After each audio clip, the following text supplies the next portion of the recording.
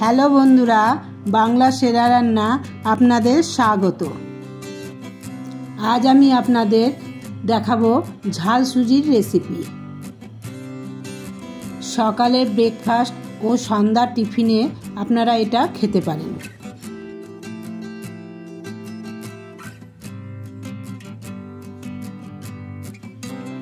কড়াইতে আমি এক কাপ সুজি নিয়ে নিলাম।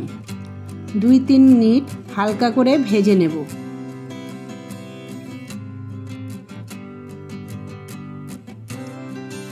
সুজিটা আমার ভাজা হয়ে গেছে, এবার এটা তুলে নেব। কড়াইতে তেল দিয়ে বাদামগুলো ভেজে নিলাম।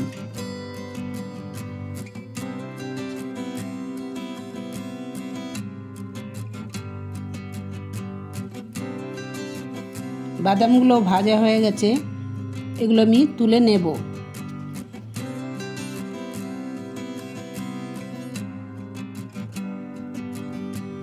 কড়াইটা গরম হয়ে গেছে, এতে আমি চার চামচ সাদা তেল দিয়ে দিলাম আর ফোড়নে দিলাম দুটো শুকনো লঙ্কা।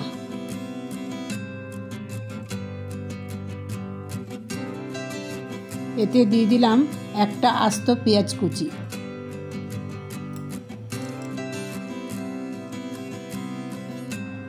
তারপর দিলাম দুটো কাঁচা লঙ্কা কুচি। তারপরে দিয়ে দিলাম একটা আস্ত আলু কুচানো। এবার ভালোভাবে নাড়াচাড়া করে নিতে হবে। তারপর এতে দিয়ে দেবো একটা আস্ত গাজর কুচি।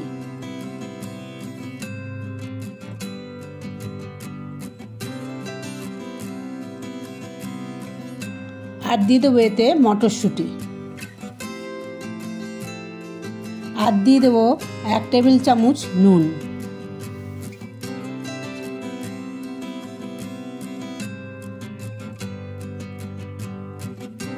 তারপর দিয়ে দিলাম একটা টমেটো কুচি। আর এর মধ্যে দিয়ে দেবো কিশমিশ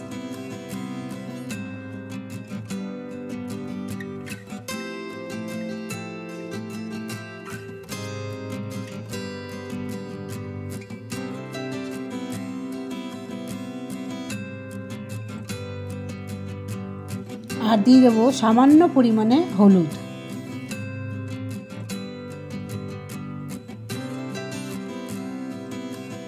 আমার সবজিগুলো ভাজা হয়ে গেছে, এর মধ্যে দিয়ে দেবো ভাজা সুজিটা। আগে আমি সুজিটা হালকা করে ভেজে রেখেছিলাম, এখন আমি সবজির সাথে ভালো করে ভেজে নেব।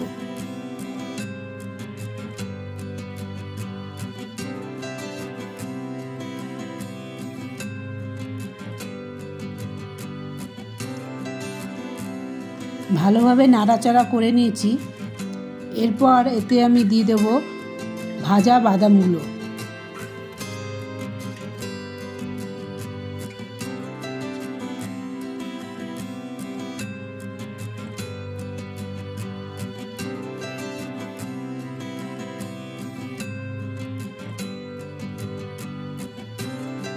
এতে আমি দিয়ে দেব দুই চা চামচ চিনি স্বাদ মতো।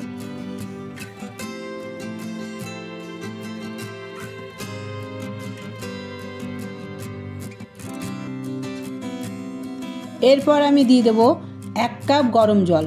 গরম জল দিলে সুজিটা ঝুরঝুরে হবে। জল দেওয়ার পর ভালোভাবে নাড়াচাড়া করতে হবে নাহলে দলা পেকে যাবে সুজিটা। এতে আর একটু জল লাগবে। এতে আমি আরও হাফ কাপ গরম জল অ্যাড করলাম।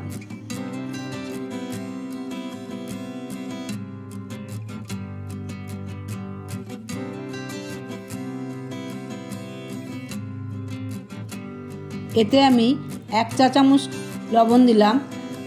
লবণটা আমি অল্পই দিলাম, কারণ সবজি ভাজার সময় লবণ দিয়েছিলাম। দেখুন আমার সুজিটা কেমন কালারফুল হয়েছে, দেখতেও ভালো লাগছে। এটা বাচ্চাদেরও ভালো লাগবে ও বড়দেরও ভালো লাগবে খেতে। ঝাল সুজি আমার কমপ্লিট বাড়িতে অবশ্যই তোমরা তৈরি করবে। ও আমাকে জানাবে কেমন হয়েছে। ভালো লাগলে অবশ্যই আমার চ্যানেলটা সাবস্ক্রাইব করবেন।